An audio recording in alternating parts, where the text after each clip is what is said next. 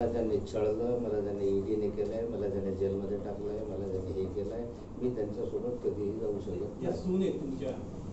आहे म्हणून काय? पक्ष पक्ष आहे. आजपर्यंत तुम्हाला असं वाटलं की मी सुनील कधी मदत केली? किंवा सुनेने मला मदत केली? असं एक उदाहरण सांगा. त्यांना आपण म्हणतो तुमचे ध्येय तुमचे धोरणं तुमच्यासोबत आहे. मी चाळीस वर्ष बेचाळीस वर्ष त्या भाजपमध्ये काढलेलं आहे रक्ताचं पाणी केलेलं आहे. भाजप मी अधिक जवळून पाहिलेला आहे. लक्षात येणे तो आता नवीन नवीन पाहिलेला आहे. मी नाड्या नाड्या ओळखतो भाजप